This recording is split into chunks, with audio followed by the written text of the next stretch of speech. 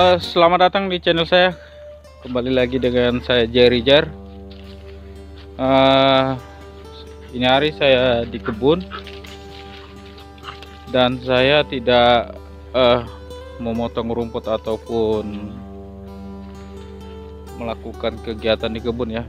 Tapi saya mau lihatkan kepada teman-teman semua inilah hasilnya yang saya sudah potong dan sudah bersih uh, jadi kalau misalnya saya di kebun itu tidak semestinya harus uh, potong rumput saja.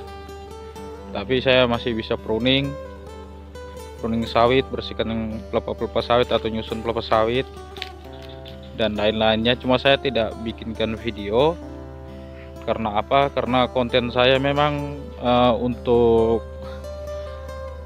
rekomendasi terbesarnya adalah potong rumput. Karena saya besarnya memang dipotong rumput jadi makanya saya konten saya itu lebih banyak motong rumput ataupun mesin rumput. Tapi kali ini saya tidak memotong rumput saya hanya melihatkan hasilnya saja dan perkembangan sawit yang sudah saya pruning ini itu di atas tuh. Seperti itu di atas itu sawit yang sudah saya pruning hasilnya bagus nih hasil buahnya. Dan ini yang di sana ini yang saya pernah potong ada di video yang sebelumnya. Di sana itu di sana itu sudah selesai. Terus ke sana sudah. Ini saya potong semua rumputnya jadi walaupun saya jarang memupuk sawit tapi hasilnya bagus teman-teman ya. Walaupun jarang saya semprot ataupun saya pupuk. Apalagi kalau namanya pupuk kan pasti kan terbatas juga. Paling per tiga bulan baru dipupuk atau enam bulan. Beda sama perusahaan sawit. Kalau perusahaan sawit kan harus rutin dipupuk. Tapi kalau kita sebagai petani sawit atau punya kebun sendiri jadi namanya pupuk itu kan agak kurang. Karena di satu sisi kan pupuk kan mahal apalagi racun rumput. Racun rumput aja sekarang roundup kan sekitar 80.000 satu liter. Satu liter itu cuma minimal kita nyemper cuma 4 cap atau 4 tangki.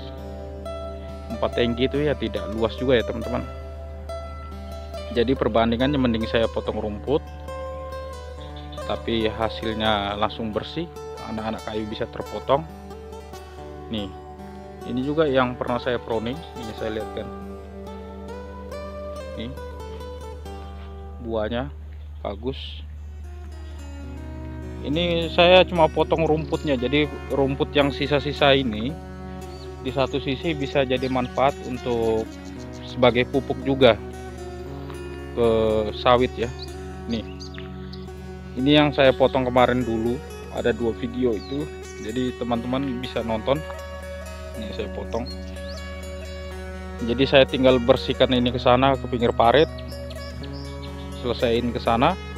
Tinggal saya motong ke arah seberang lagi. Dan untuk seterusnya ini ya mungkin setelah dibersihkan lagi mungkin nanti di ujung-ujung sana saya akan tanam sawit lagi karena di sana itu sawitnya mati. Cuma yang di pinggir sini aja yang hidup yang saya tunjuknya ini. Tuh. Yang sananya itu mati di ujung batas. Ini hasilnya. Walaupun jarang dipupuk tapi buahnya bagus. Karena apa? Karena ya itu tadi rumputnya dipotong. Jadi rumput-rumput sisa ini yang putus bisa jadi pupuk teman-teman karena kita sebagai petani sawit itu kita harus mengakali juga. Beda dengan perusahaan sawit. Kalau perusahaan sawit kan memang harus digenjot kualitas buahnya harus berbuah terus. Beda sama petani sawit. Ini juga yang pernah saya potong di sini. Jadi perbandingannya antara nyemprot dengan motong rumput di Eh, motongnya harus rata ke bawah. Itu ya perbandingannya kalau racun rumput satu bulan baru dia akan tumbuh lagi tunas baru menghijau. Dan potong rumput juga sama satu bulan. Nah untungnya potong rumput ini kayu-kayu bisa kita potong.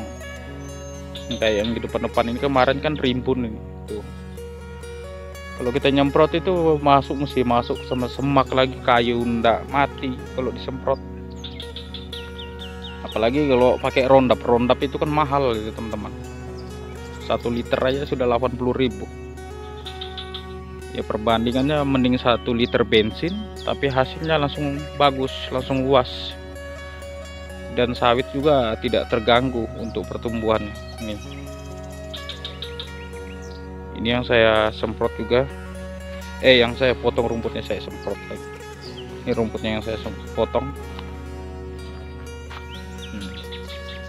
karena tadi hujan jadi saya tidak sempat untuk motong rumput. Jadi tinggal itu ke sana ke bawah itu.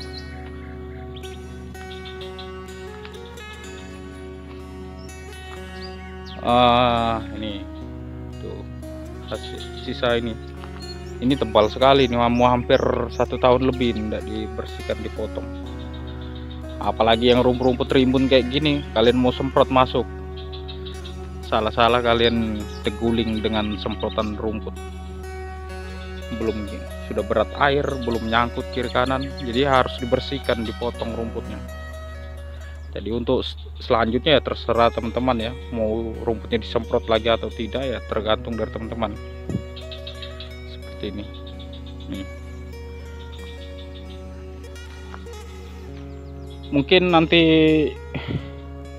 juga saya akan pruning sawit tapi mungkin bukan ini hari ada mungkin besok atau lusa kalau saya tidak sibuk. Ini ini perlu di pruning juga.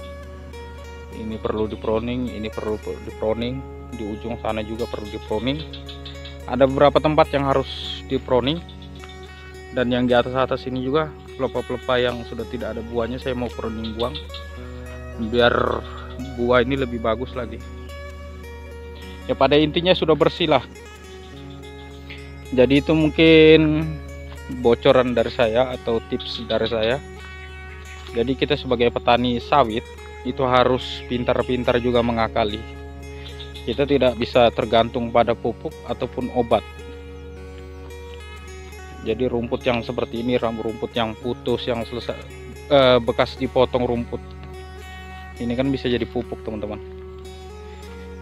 Oh ya kalau misalnya penjelasan saya selalu bertele-tele atau berulang-ulang itu biar daya ingat teman-teman itu lebih lebih lebih cepat menangkap ya. Kalau saya jelaskan cuma satu kali saya ngomong cuma satu kali itu teman-teman pasti akan lupa.